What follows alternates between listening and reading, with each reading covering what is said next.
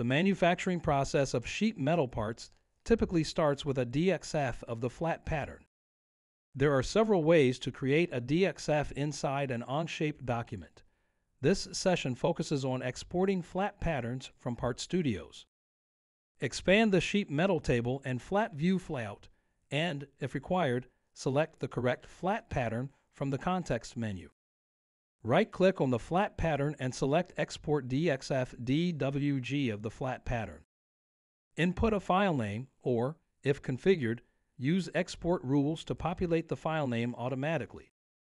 Set the format and select the appropriate version. Select a scope. Single flat pattern part only exports only this flat pattern. All flat pattern parts in the current model exports all flat patterns created by the specific sheet metal model feature.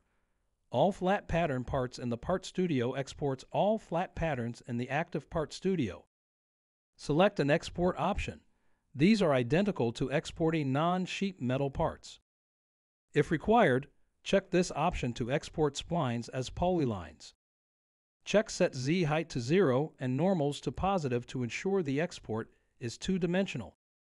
Check include bend center lines and include bend tangent lines as required. Check include visible sketches to display sketches on the export. This option helps depict manufacturing information such as form tool center lines. Create a sketch on the flat pattern and make it visible prior to export. With parameters set, click Export. The file is either downloaded, stored as a tab, or emailed based on the option selected.